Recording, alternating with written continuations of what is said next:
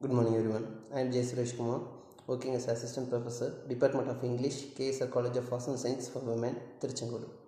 Today, we are going to see English for Employability paper, Unit 2, uh, Reading Comprehensions. The topics covered in the Unit 2 are purpose and strategies of reading, skimming for details, scanning for information, drawing inference, and vocabulary.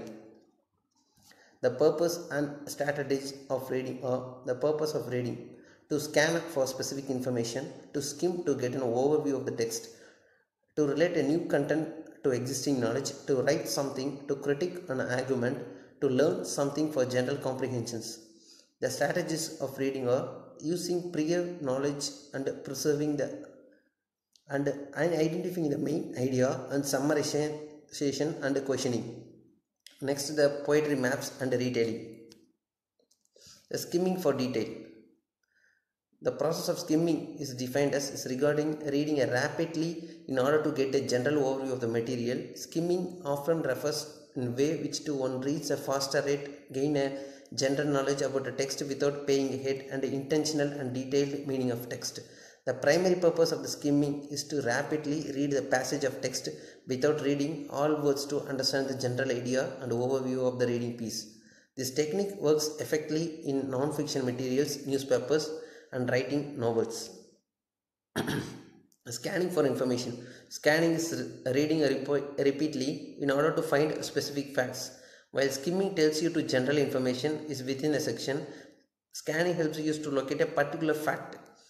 Scanning is a text means through looking quickly to find specific information. For an example, when looking up a word in a dictionary or finding a friend's name in the contacts directory of your phone, scanning is a reading rapidly in order to find a specific facts. Scanning involves looking for specific informations.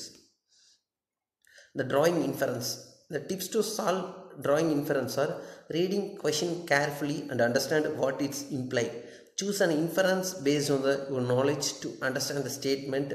Search clues and pick up your choices. Employ the elimination procedures. An inference is a statement about unknown made of the basis of known inference or evidence based guesses. Making inference means a choose the most likely explanation from facts at hand. Vocabulary. All you know about the well known vocabulary. The vocabularies are all about the words. The word in a language or special a set of words that you are trying to learn. The word vocabulary originated from the Latin vocabulum, meaning a word, a name, it forms an essential component of the language and communication, helping to convey thoughts, ideas, emotions, and informations. Vocabulary can be oral, written, or signed. Vocabulary is significant focus of study across various disciplines like linguistics, education, psychology, and artificial intelligence. Thanks for watching the